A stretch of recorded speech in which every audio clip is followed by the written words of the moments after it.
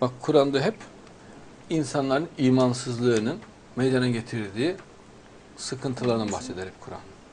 Demek ki dünyadaki en büyük konu neymiş? İman zafiyeti. En önemli çalışma neymiş? İman takviyesi için iman hakikatlerinin anlatılması. İnşallah hocam. Bediüzzaman bunu anlata anlata anlata büyük bir kitleye bunu ikna etti. Maşallah. Maşallah. Mehdi'nin de yapacağı görev budur.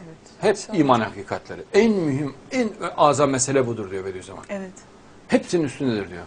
Çünkü eee, iman olmayınca e, Kur'an'ı da zaten adam kabul etmez. Evet.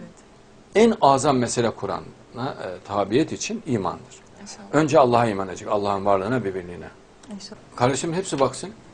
Kur'an hemen hemen yüzde seksen doksanı hep iman zafiyetinin kötülüklerini anlatır. Evet hocam. İmansızların uğradığı sorunun ne olduğunu anlatır. Samimi imanın önemini anlatır. Hep iman. Evet. En mühim, en azam meseledir diyor Bediüzzaman. İnşallah. İman kabul olduktan sonra da Kur'an'ın en önemli hükmü olarak da İttihat-ı İslam. Çünkü Kur'an'ın bütünü hep Müslümanların toplu olmasına göre anlatılmış. Hiç ayrı bölünmeye göre anlatılmamış Kur'an'da. Evet. Tabii. Hep bütün.